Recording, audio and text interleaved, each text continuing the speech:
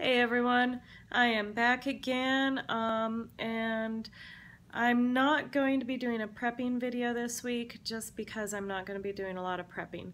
Um, I kind of pulled a stupid earlier this week on Wednesday. I guess I just wasn't awake enough and I poured hot coffee all over my hand while I was trying to fill up my mug. So I actually ended up going to the uh, walk-in clinic today. I have a huge burn here and also here. So I'm really sore and um, I don't want to get this dirty or wet or anything like that. So I'm not going to be doing a lot of prep cooking this week, but I did go grocery shopping and I want to show you a, a few of the new things that I bought this week. Um, my husband and I were talking today and he was like, I, I want more variety. I want more vegetables. I want more of this. I want more that. And so while we were shopping, we got him and I a few new things to try this week. Um, the first thing we got, we got at Aldi, and these are blackberries. Now, blackberries are one of the lower carb fruits that you can have, um, and so I told him that what we're going to do is we're going to make up some heavy whipping cream. We're going to whip it up. We're going to add some sweetener to it, and then he can use the uh, whipped cream with the berries. And Usually I think about five or six is a serving and that's just a, a couple of carbs. So that's not going to be too bad. And he was really excited about the prospect of having a little bit of fruit. Um, and to go with that, we also got some of this. Um, it's just xylitol. And we got this at Fresh Market. It was $8.99. We haven't really tried many sweeteners just because of all my allergies. And I told him, I said, you know what, when you want something sweet, you need to tell me so that I can make something for you because it doesn't generally occur to me to make him something sweet. So we got that as well. Um, we're going to try it in a couple of different things maybe, but I don't know. We'll see how it works. I'll let you know in a in a later video if we liked it, if it had a cooling effect or if it was sweet enough or if it was too sweet or or what. So I'm going to use that in the whipped cream and um, use it for his berries.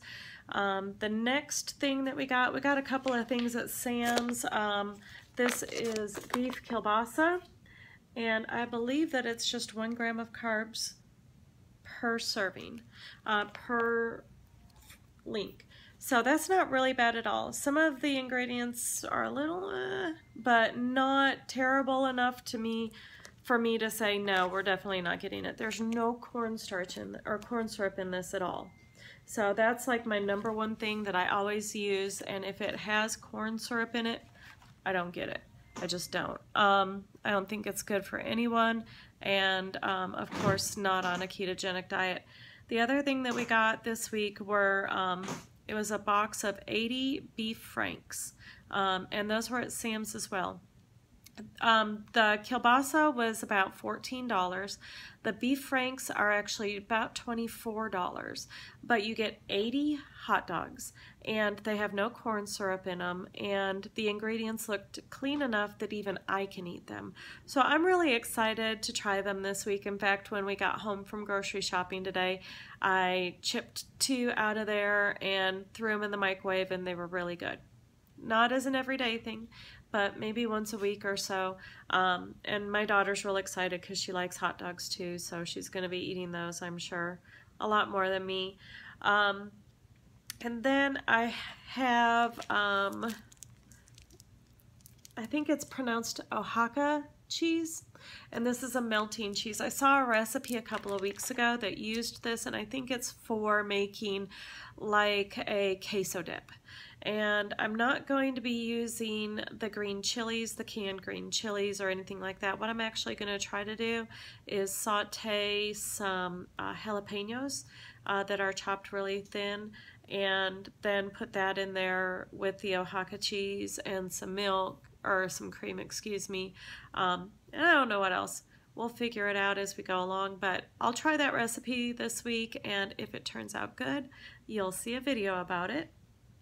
Um, the other thing that he likes is he likes to dip. He likes dippy stuff, and so uh, we're always buying him pork rinds, and he likes to use those as crackers, and he'll put uh, summer sausage and a slice of cheese on there and eat it kind of like a cracker um, appetizer kind of thing. But this week he said, you know what, I really, really, really want some pimento cheese dip.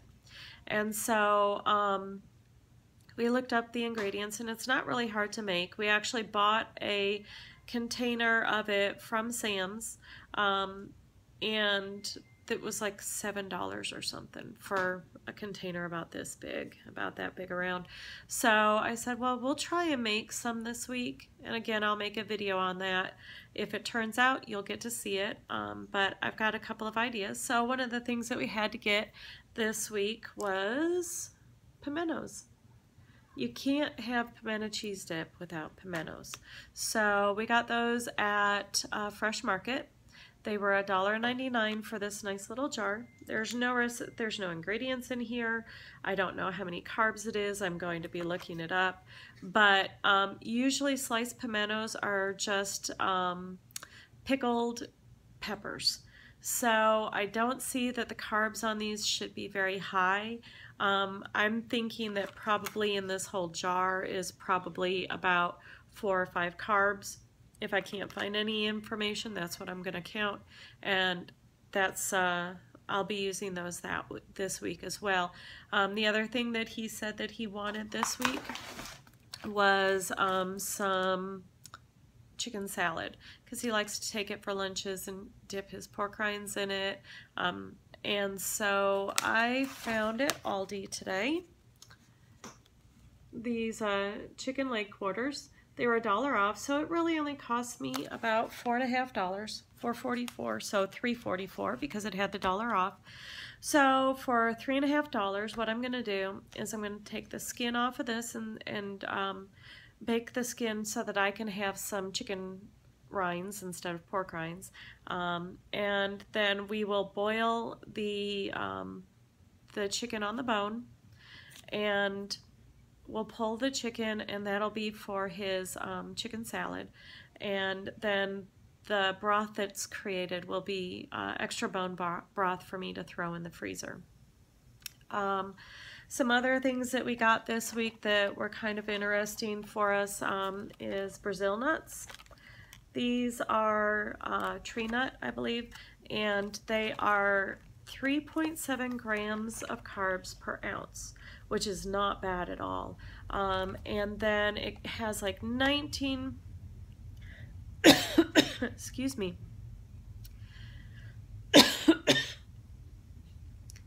has about 19 grams of carbs, or I mean fat, and six or seven grams of protein. So these are a nice little snack if you need just a little bit of something. In fact, um, while we were out shopping, I was starting to get a little um, hungry to where I needed to eat something. And so I had a couple of these and that really helped me a lot. The other thing that we got were walnuts.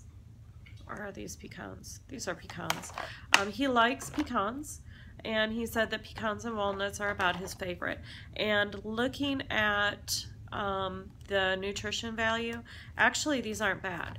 These are four grams of carbs per, per ounce, and then it's also about 21 grams of protein and or 21 grams of fat and six or seven grams of protein so my plan for this is to take the recipe for Chex Mix and I'm going to use it on pecans.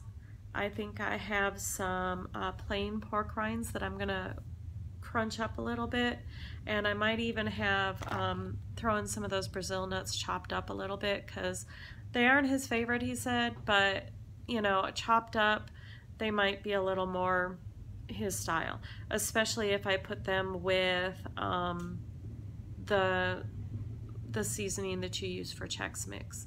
Um, the other thing that I'm probably going to try eventually is to try to make, um, because he's also missing, he loves the um, honey mustard pretzels.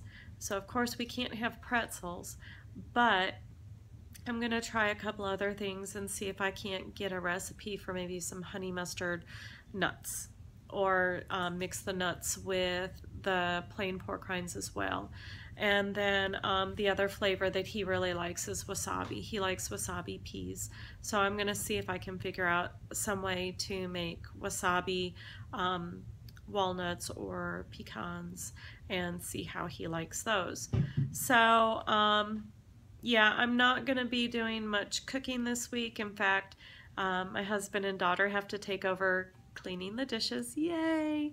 And um, so hopefully I will be back next week with a good cooking video um, because my hand is really sore today and I'm really tired and I just I need to rest. so um, I just wanted to show you what uh, some of our plan for the week is and some of the new things that we're going to try.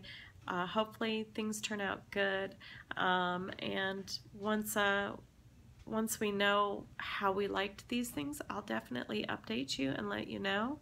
Um, but I hope you have a great Sunday, and I hope you're prepping well.